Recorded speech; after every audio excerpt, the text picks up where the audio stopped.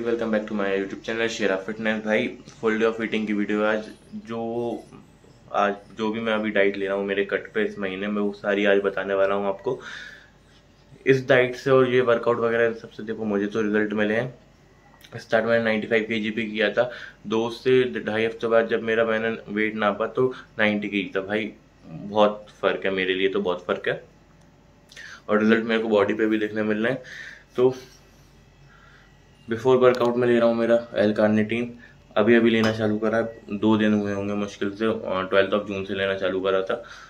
तो ये ले, ये आधे घंटे पहले पी कर जाऊँगा मैं। आप जिसको, देखो, मेरे को शुरू से आदत नहीं है प्री वर्कआउट मिल की, इसलिए मैं नहीं लेता हूँ।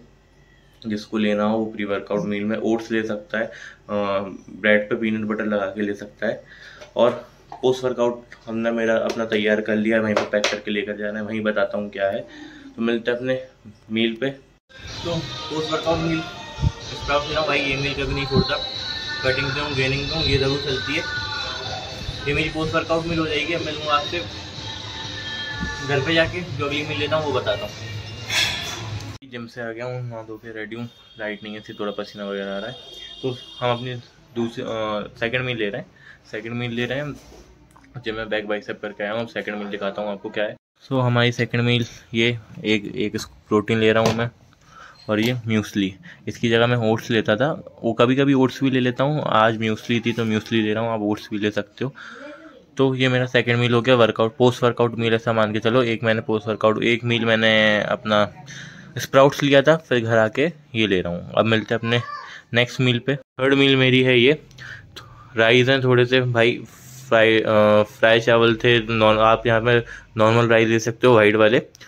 ये थोड़ी सी सब्ज़ी, ये हमारा सैलेड इसके साथ थोड़ा सा पाइन डाइजेशन के लिए।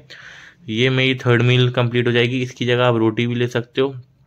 मैं इतने तो नहीं खाना आपको, रोटी ले लेना दो या फिर इससे हाफ़ क्वांटिटी में चावल लेना है।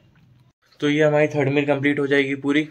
आज पूरी वेजिट वेज डाइट की वीडियो है, क्योंकि देखो ट्यूसडे ट्यूसडे को मैं नॉन वेज या अंडे कुछ भी नहीं खाता हूँ।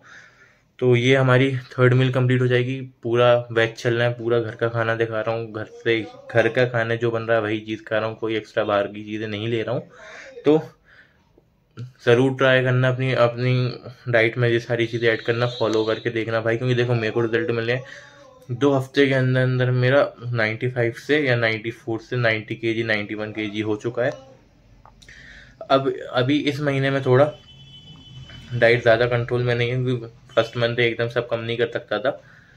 ये जैसे ही मंथ एंड होगा मेरा तो डाइट थोड़ी और कंट्रोल में कर लूँगा, अब मिलता नहीं नेक्स्ट मील पे। हाँ इसमें जो आपका ये वाला मील है थर्ड मील है, उसमें आप कोई भी घर की सब्ज़ी ऐड कर लेना, या तो राजमा, या दाल। दाल ज़रूर ऐड करना।